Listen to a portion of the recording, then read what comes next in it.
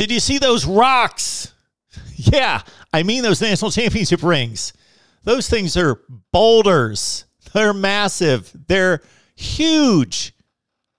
But who can blame Georgia for celebrating big and getting the very largest monstrosities that you could ever find or have created to celebrate their national championship? It's been 41 years. Welcome into the Voice of College Football as we check out Georgia's spring game, the annual G Day game at Sanford Stadium in Athens on Saturday. Right here at the Voice of College Football, please subscribe, share these videos out on social media, and hit the like button as well. Let's get this out of the way first and foremost. This is Stetson Bennett's team, period.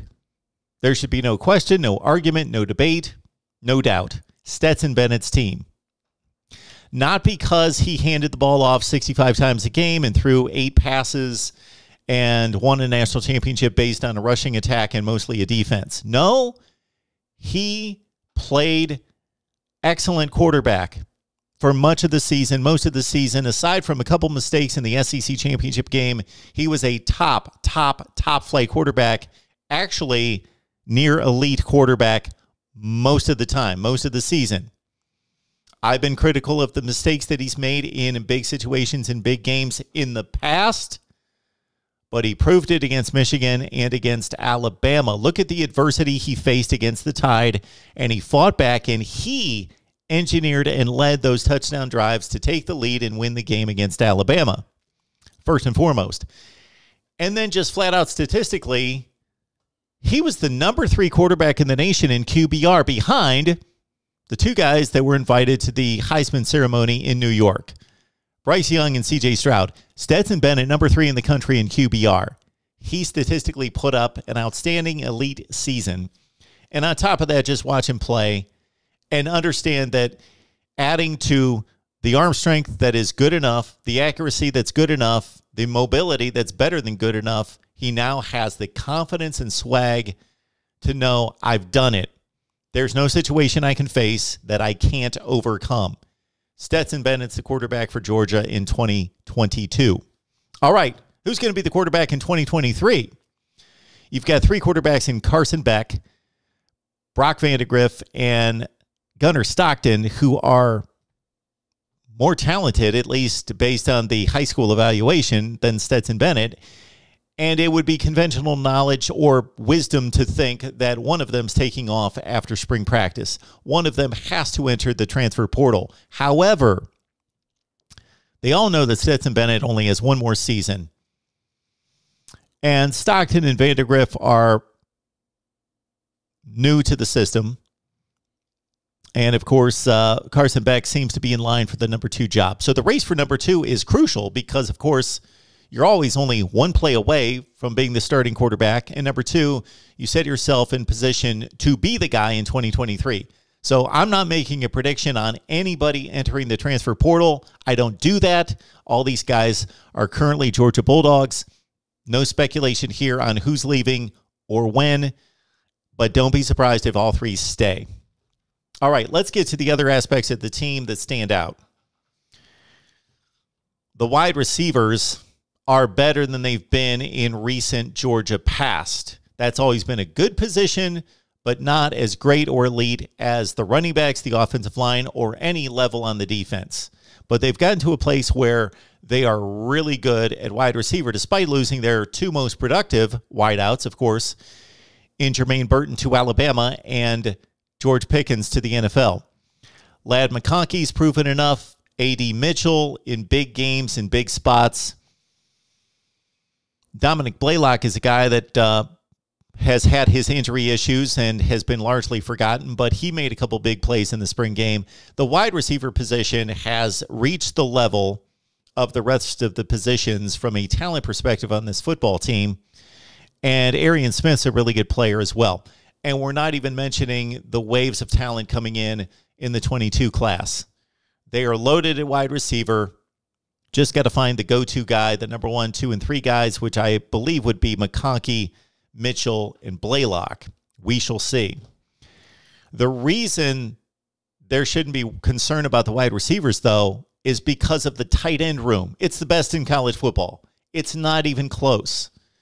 And these tight ends are not conventional tight ends. They're basically weapons in the passing game. We know Brock Bowers. We didn't have to see him in the spring game. He didn't play. He doesn't need to play. He's fine.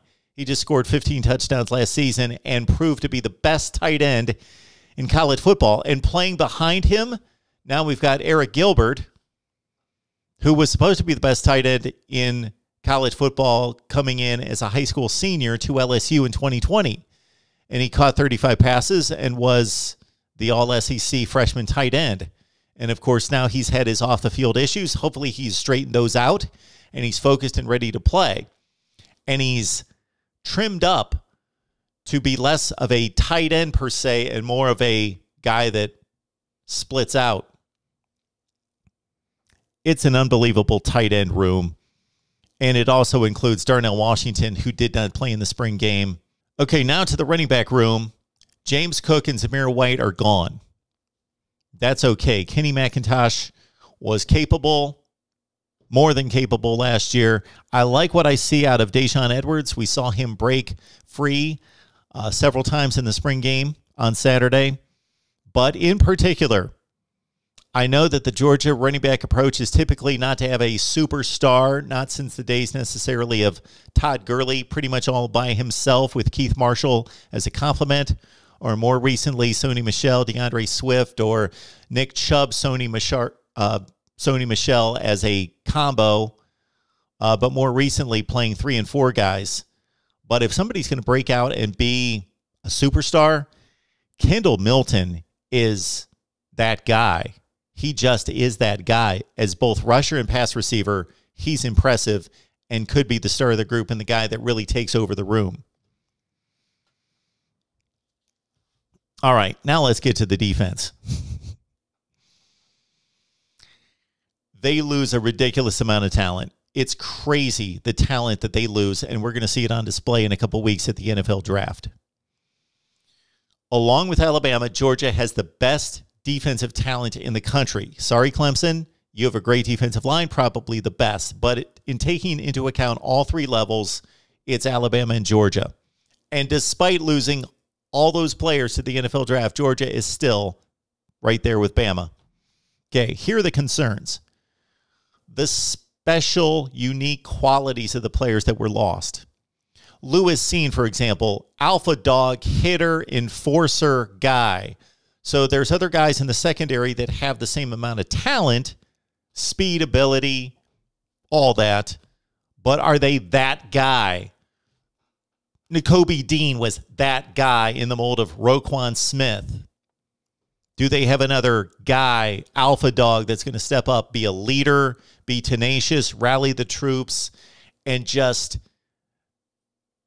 refuse to be denied? Nakobe Dean, that guy. At cornerback, to a lesser extent, Derion Kendrick, four picks last year, coming in from Clemson, asserting himself as the number one corner, that guy. I think they've got a good transition there in Kelee Ringo. Of course, he the star of the national championship game and icing the game with a pick six. Travon Walker, Quay Walker, going to be missed, of course, along the defensive front. And then again, in terms of having guys – that from a star standpoint on the recruiting rankings can be replaced, but are their replacements replacements going to be that guy?